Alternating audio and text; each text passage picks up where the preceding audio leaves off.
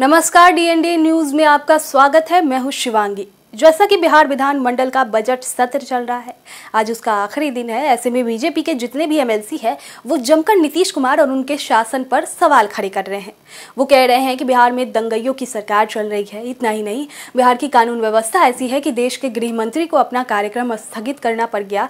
तो तमाम मुद्दे को लेकर क्या कुछ कह रहे हैं एमएलसी सुनिए। बिहार में जब से रामनवमी का जुलूस निकला उस दिन से पूरे बिहार के अंदर जिस तरह से दंगाइयों ने आक्रमण किया, हिंसा फैलाया आगजनी किया, रोड़ेबाजी किया, और जिसके कारण पूरा बिहार का शासन व्यवस्था पूरी तरह से कोलैप्स कर गया है। बिहार की ऐसी हालात हो गई है कि बिहार भारत सरकार के गृह मंत्री को कार्यक्रम स्थगित करना पड़ा। तो बिहार का जो हालात है, और इसमें नीतीश कुमार पूरी तरह से दंगाइयों को संरक्षण दे रहे हैं एक वर्ग विशेष को समर्थन दे रहे हैं, उनके मनोबल को बढ़ा रहे हैं, इसलिए आज हम सब लोग यहाँ पर बिहार विधानसभा के अंदर भी हम लोग इसका पूरा विरोध करेंगे और इसकी न्यायिक जाँच होनी चाहिए। इसमें जो दोषी है, उस दोषी पर कार्रवाई करनी चाहिए।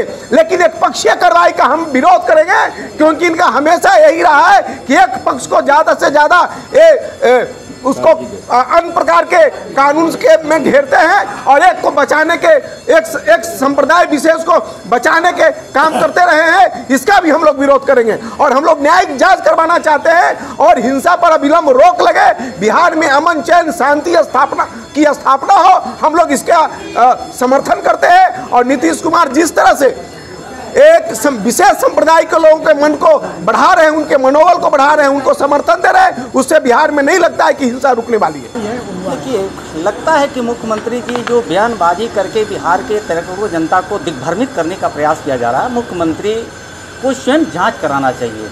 हम सदन के बाहर, सदन के अंदर वो तो जाँच कराने की मांग हो रहा है। और जो जिस तरह से दंगाइयों को मनोबल बढ़ा है, वो तुष्टिकरण की राजनीति करने के लिए मुख्यमंत्री जी आदतन विवश और लाचार है। मुख्यमंत्री जी को मालूम है कि जब जब चचा भतीजा की जोड़ी आती है, तब तक बिहार में दंगा फसाद बढ़ता है।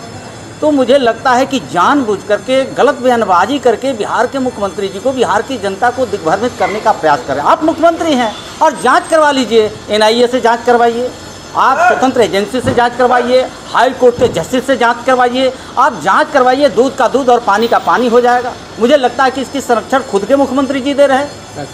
खुद के मुख्यमंत्री जी दे रहे हैं, मुख्यमंत्री जी इसके दोषी। तो सुना आपने किस तरह से बीजेपी एमएलसी कह रहे हैं कि बिहार में जब से रामनवमी का जुलूस निकला है, उस दिन से दंगइयों ने बिहार में जो आक्रमण किया है, रोड़ेबाजी की है, ऐसी स्थिति पैदा कर दी कि देश के गृह मंत्री को अपने कार्यक्रम को स्थगित करना पड़ गया।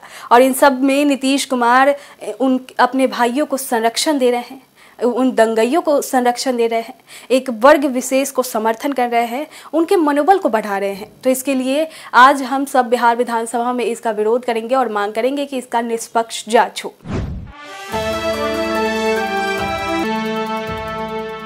जुड़ो दीक्षांत से करो फ्री खुद को स्ट्रेस से। गूगल प्ले स्टोर से दीक्षांत ऐप डाउनलोड कर अपने स्टडी को बनाओ आसान और मज़ेदार। दीक्षांत देता है topic wise video with animated visuals and concept the study materials